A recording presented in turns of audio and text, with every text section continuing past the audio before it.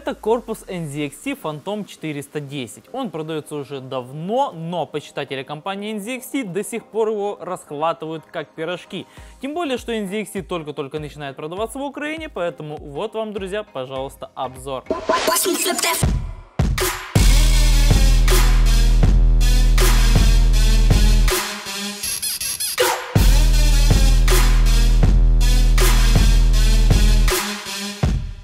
Хоть как-то знаком с компанией NZXT, те знают, что внутри у них практически всегда все очень хорошо, удобно и просторно. Поэтому выбор идет в основном чисто по дизайну и по деньгам, которые вы можете за него отдать.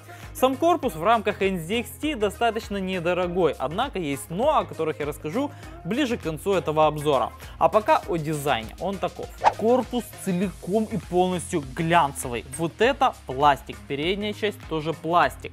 Боковые двери и основное шасси логично целиком и полностью металлическое, надежное и причем сделано из достаточно толстого металла и шум из себя не очень-то и активно выдает. Кому какой дизайн нравится это дело такое, лично по мне глянец не по мне. Мне больше нравятся матовые корпуса. Однако этот корпус есть в просто бомбическом красном цвете. Он тоже глянцевый. Но там не остаются отпечатки пальцев, там не остается никакого мусора. Ну, по крайней мере, его незаметно. Ну, а красный цвет там просто дикий огонь. В белом, кстати, тоже хорош. Весь он такой угловатый, красивый, с интересными и необычными формами, которые приковывают к себе не только взгляд, но и пыль она достаточно заметна. Спереди есть дверь, за которой прячется три лотка для оптических устройств, либо для реобасов. И, кстати, по поводу пластика. Вот этот оранжевый пластик мне, честно говоря, как-то вот не очень. Какой-то он немного, скажем, душманский на вид. Вверху видно логично и понятно сетка для отвода воздуха из корпуса. Вентилятор здесь стоит. О нем расскажу немного позже. Спереди тоже есть сетка, предназначение ее такое. Вентилятор стоит внутри, вдувает воздух в корпус для охлаждения. Без сетки воздух не прошел бы. К сожалению, здесь не двери, а обычные задвижки, их я не очень люблю. Однако, сверху есть оргстекло, которое закрывает вашу систему. Через него видно только вашу систему охлаждения процессора. И, к сожалению, если вы купите красивую материнскую плату, видеокарту, там SSD диски и все остальное, то через это окно их видно не будет только система охлаждения процессора. Ниже, как видно, сетка и здесь есть еще слоты для еще одного Карлсона, ну, в смысле вентилятора. Сзади все целиком и полностью типично. Интерфейсная панель, 120 мм вентилятор на выдув, блок питания находится внизу и стоит на резиновых шумопоглощающих ножках, чуть попозже их покажу, и отверстие для системы жидкостного охлаждения, которое будет находиться снаружи. Помимо 120 мм вентилятора сзади на выдув, есть точно такой же 120 на вдув и 140 вентилятор сверху на выдув, причем с белой подсветкой. Вот она. Проапгрейдить систему охлаждения можно так. Сверху рядом со 140 поставить еще одну 140 либо две 120 либо систему жидкостного охлаждения до 280 мм. Внизу можно поставить одну 120 сзади ставится только 120 и менять ее можно даже не менять, а спереди вместо 140 ставится две 120 Систему жидкостного охлаждения, к сожалению, не поставить, потому что трубы вывести некуда. Блок питания стоит на резиновых ножках, поэтому вибрация от него в корпус никак не передается, особенно если вы купите тихие блоки питания. Точно такие же ножки находятся и на днище самого корпуса, это тоже очень хорошо.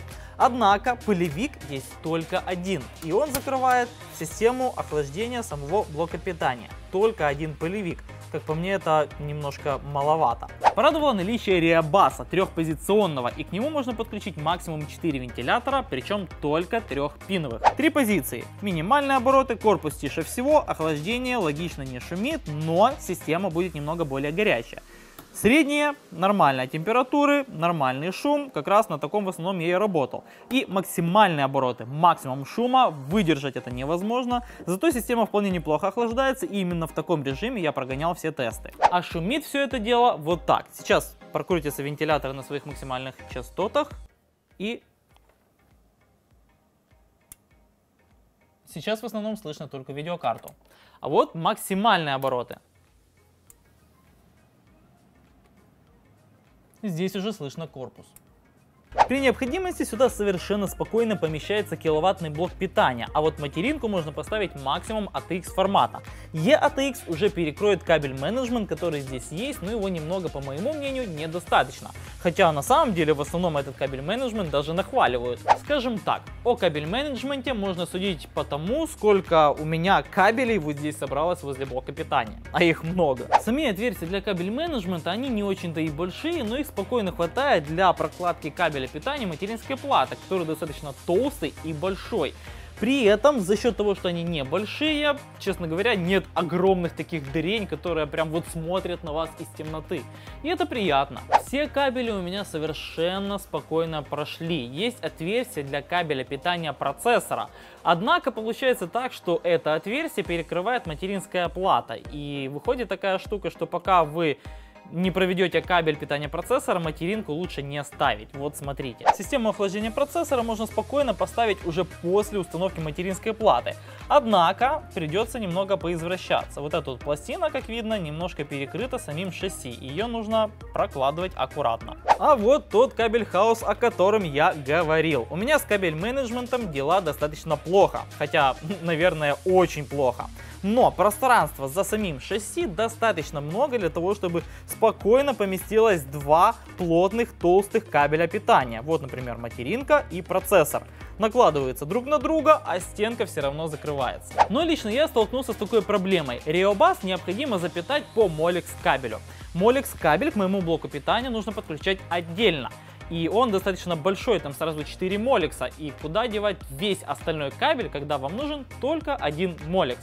Сзади его спрятать места не нашлось. В итоге он лежит у меня здесь. С системой накопителей здесь все в порядке. Всего слотов 6. 4 из них в стойке, которая снимается для увеличения обдува самого корпуса. Но если снимете эту стойку, без дисков вы не останетесь и остается 2 слота для 3,5 дюймовых дисков. Да, нет отдельных мест для 2,5 дюймовых дисков, не 3,5 дюймовых. Я запутался уже.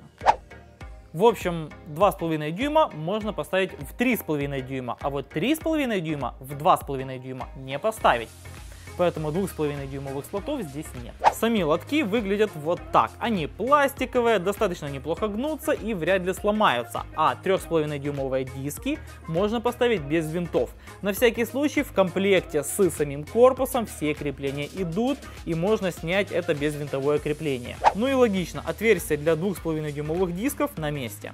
В целом по сборке у меня вопросов не оказалось, кроме буквально двух моментов. Мне некуда было деть некоторое количество кабелей, которых я говорил, и пришлось прокладывать заранее кабель питания для процессора. Но есть еще пара моментов, о которых мне хочется поговорить. Видеокарты здесь можно поставить длиной до 430 миллиметров. Блин, почти полметра, но при условии, если снять стойку с дисками, о которой я уже рассказывал. Процессорный кулер можно поставить достаточно высокий. Thermaltake Frio Silent 14 с 140 миллиметровым вентилятором здесь поместился спокойно, и запас до стенки был еще 1 сантиметр. И при всей, скажем так, плотности всей моей системы, меня порадовало то, что остается сверху место для системы жидкостного охлаждения процессора.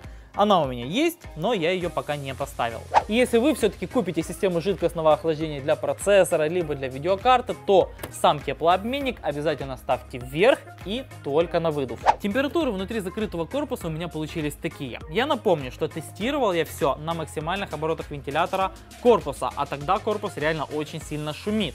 Так вот, процессор Core i7 4770K, не разогнанный, с системой охлаждения Thermaltake Frio Silent 14, разогрелся до 69 градусов. И это совершенно нормально. Видеокарта достаточно горячая, Radeon R9 380X, была прогрета максимум до 70 градусов. Тоже очень даже немного. Но при желании можно все опустить на минимальные обороты, открыть крышки и обогревать комнату. Профит. В общем, глянец это дело только на любителя. Кому нравятся глянцевые корпуса, которые блестят, кому-то нравятся матовые корпуса, это дело такое. Лично такой вариант мне не по душе, хотя знаю лично людей, которым он очень даже понравился. Внутри все хорошо, спокойно, скажем так, достаточно и для весьма недорогой системы. Кроме одного «но». Сам корпус не из дешевых. Вообще NZXT дешевых корпусов не делают. И за его деньги, скажем так, есть другие варианты. Друзья, вы смотрели обзор на канале FUA. Заходите к нам на сайт, покупайте у нас на сайте комплектующие для вашего компьютера игрового, неигрового. Но у нас не только для компьютера продается все. У нас есть телевизоры, мониторы, телефоны, планшеты, ноутбуки, даже питание детское есть. Ну, в общем, вы найдете что-то для себя, покупайте, поддерживайте нас, подписывайтесь на канал, все ссылки есть в описании. Меня зовут Руди, мы с вами еще обязательно увидимся, так что лайк, подписка, смотрим другие видео, все дела. Всем до встречи и пока!